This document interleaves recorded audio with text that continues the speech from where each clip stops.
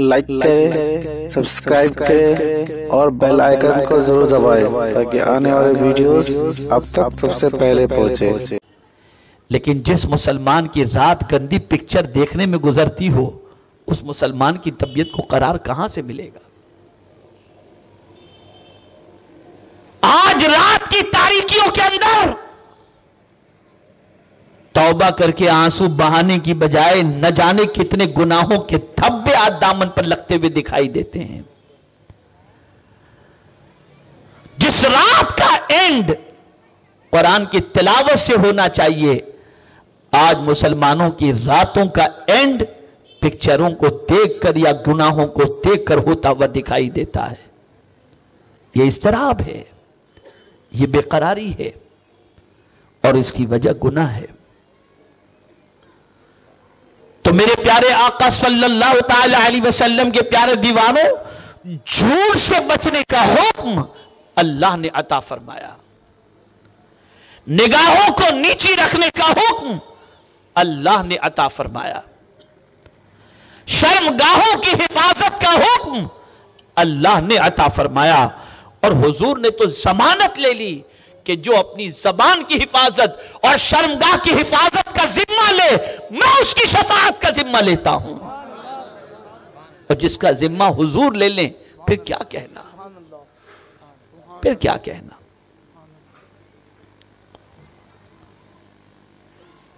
तो ए रसूल आज़म सल्लल्लाहु अलैहि वसल्लम के दीवानों, कुरान पर अमल छूटा बेकरारी बढ़ गई।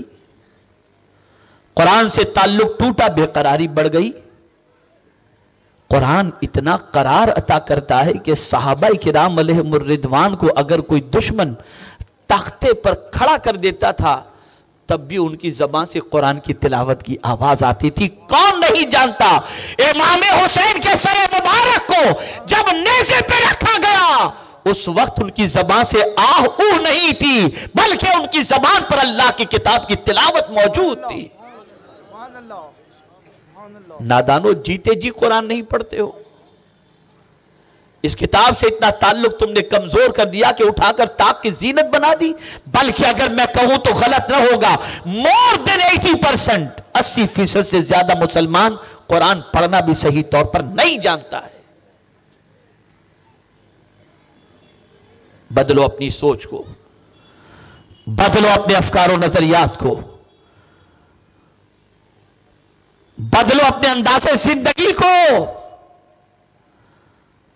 याद रखें, जिस चीज़ से हम सुकून हासिल करने की कोशिश कर रहे हैं, मादी चीज़ों के ज़रिए हो सकता है कि वो मादी चीज़ें जिस्म को किसी हद तक राहत पहुंचाएँ। नरम गद्दा होगा, जिस्म को राहत पहुंचेगी। एयर कंडीशन होगा, जिस्म को राहत पहुंचेगी। महल होगा जिस्म को राहत पहुंचेगी। फ़र्स्ट क्लास होगा या बिज़नेस क्लास होगा, जिस्म को राहत पहुंचेगी। लेकिन दिल को राहत कुरान की तिलावत से अल्लाह ता फरमाएगा। को सुकून अल्लाह कुरान की तिलावत से अता फरमाएगा। ए रसूल गिरामी वकार, सल्लल्लाहु अलैहि वसल्लम के दीवानों, इसलिए अल्लाह की किताब से अपने ताल्लुक को मज़बूत करो। इसको इस तरह से न छोड़ दो जिस तरीके से आज हम छोड़े बैठे हुए हैं। खुदा की कसम, ये अल्लाह की वो किताब है कि इस किताब पर जितना अमल करते जाएँगे, अल्लाह सुकून अता फरमाता जाएगा।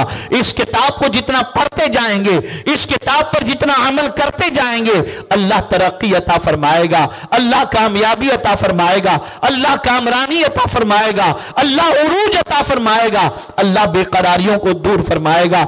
आपकी कोई हाजात है? कुरान पढ़ो और अल्लाह की बारगाह में अपनी हाजात को पेश करो। अल्लाह कुरान के सदक़े में आपकी हाजतों को पूरी फरमा देगा। आपको कोई बीमारी है? कुरान पढ़ो, अल्लाह कुरान के सदक़े में शिफा अता फरमा देगा। कुरान पर अमल भी करो। कुरान की तिलावत भी करो और कुरान को पढ़ना भी सीखो और समझने की कोशिश करो।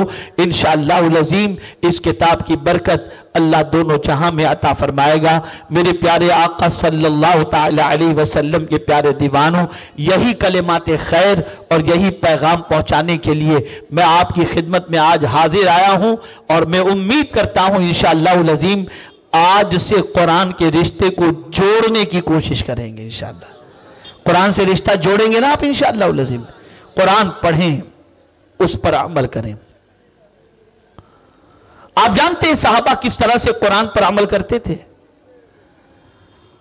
आप जानते हैं अलिया किराम कुरान पर किस तरीके से अमल करते थे? फारूक आज़म रदी अल्लाह मौला तबारक वालन हो के भतीजे जो थे, उनका एक दोस्त था। उस दोस्त की तमन्ना थी कि वो फारूक आज़म रदी अल्लाह तु से मुलाकात करे तो उसने अपने फारूक आज़म के भतीजे से कहा कि मुझे गौसे, मुझे जो है वो फारूक आज़म से मिला दो। वो फारूक आज़म की बारगाह में दरखास्त करते हैं, भतीजे फारूक आज़म के, कि मेरा दोस्त है, वो मिलना चाहता है। फारूक आज़म ने फरमाया, ठीक है, मुलाकात के लिए लेकर के आओ। जब वो मुलाकात के लिए पहुँचा तो उसने बदतमीजी से गुफ्तगु की। उमर, तुम तो आजकल खलीफा बन चुके हो ना? अमीरुल बन चुके हो। जरा हमारा भी ख्याल किया करो। इतने बुरे अंदाज से उसने गुफ्तगु की कि फारूक आज़म का चेहरा मुतगैर हुआ।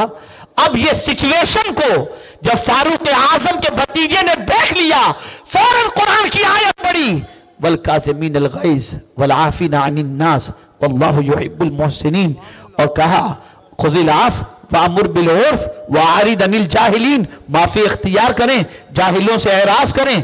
हज़रत फारूक आज़म रदी अल्लाह तबारक वालों ने अफ फरमाया, दरगुजर फरमाया, उससे एराज फरमाया तो अल्लाह वजल्ला के मकबूल बंदों का हाल ये होता कि उनके सामने कुरान की आयत पेश कर दी जाती। हज़ार हाँ उनका नफ्स उन्हें उस तरफ़ माइल करता हो, उनके कुरान के हुक्म के खिलाफ। लेकिन उसके बावजूद कुरान की आयत सुनकर वो कुरान के सामने ढेर हो जाते और उस पर अमल करते हुए करते हुए नज़र आते थे। लेकिन आज इसका क्या किया जाए कि कुरान को अल्लाह की किताब मानने वाला मुसलमान ही कहता है कि मौलाना आज कुरान पर अमल करना बहुत मुश्किल है। तो आपने तो पहले ही सोच बना ली है। और जितनी भी परेशानियाँ, मुसीबतें, तकालीफ ये जो कुछ भी इस वक्त आलमी सतह पर मुसलमानों की ज़िंदगी में नज़र आ रही है, ये सिर्फ़ और सिर्फ़ कुरान मुकद्दस से अपने ताल्लुक को तोड़ने की वजह से या कमज़ोर करने की वजह से और याद रखें, ये मैं नहीं कहता, हदीस मुबारक में आकाए करीम सल्लल्लाहु अलैहि वसल्लम ने फरमाया, इस किताब से कुछ लोग ताल्लुक मज़बूत करके बुलंदी पर चले जाएँगे और कुछ लोग इस किताब को छोड़कर पस्ती की तरफ़ चले जाएँगे।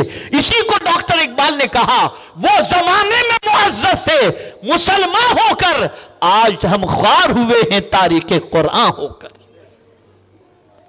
कुरान से ताल्लुक मज़बूत करो, सीखो पढ़ना, टाइम निकालो, रोज़ाना तिलावत करो। इसके बगैर अपनी ज़िंदगी को अधूरी समझो। इसकी तिलावत के बगैर अपना सोना अधूरा समझो।